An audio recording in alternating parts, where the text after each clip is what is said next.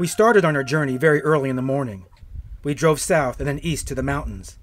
Don Juan had brought gourds with food and water. We ate in my car before we started walking. Stick close to me.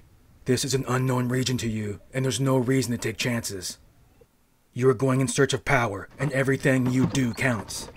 Watch the wind, especially toward the end of the day.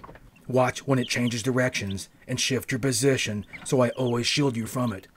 What are we going to do in these mountains, Don Juan? You're hunting power. I mean, what are we going to do in particular? There is no plan when it comes to hunting power. Hunting power or hunting game is the same. A hunter hunts whatever presents itself to him. Thus, he must always be in a state of readiness. You know about the wind, and now you may hunt power in the wind by yourself. But there are other things you don't know about, which are, like the wind, the center of power, at certain times, at certain places. Power is a very peculiar affair. It's impossible to pin it down and say what it really is. It's a feeling one has about certain things. Power is personal. It belongs to oneself only. My benefactor, for instance, could make a person mortally ill by merely looking at him. Thank you. Thank you for your sacrifice. Yet, he did not make people sick all the time, but only when his personal power was involved. How did he choose who to make sick? I don't know that. He didn't know it himself. Power is like that. It commands you, and yet it obeys you. Thousands of years.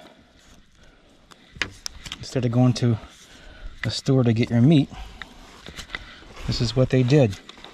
Oh, that's so cruel, it's so gruesome. But everybody will go to the store to buy chicken or get chicken nuggets from McDonald's.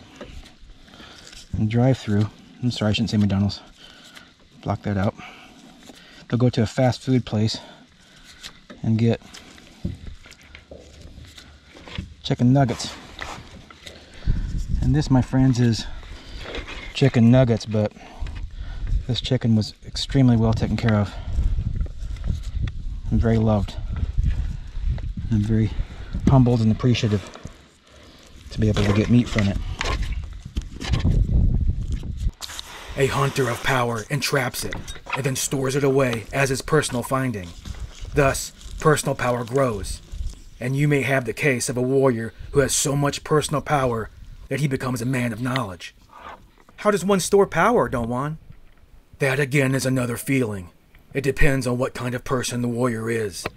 My benefactor was a man of violent nature. He stored power through that feeling. Everything he did was strong and direct. He left me a memory of something crushing through things, and everything that happened to him took place in that manner. I told him I couldn't understand how power was stored through a feeling. There's no way to explain it. You have to do it yourself. He picked up the gourds with food and fastened them to his back. He handed me a string with eight pieces of dry meat strung on it and made me hang it from my neck. This is power food, he said. What makes it power food, Don Juan? It's the meat of an animal that had power. My personal power brought it to me. This meat will sustain us for weeks, months if need be. Chew little bits at a time and chew it thoroughly. Let the power sink slowly into your body.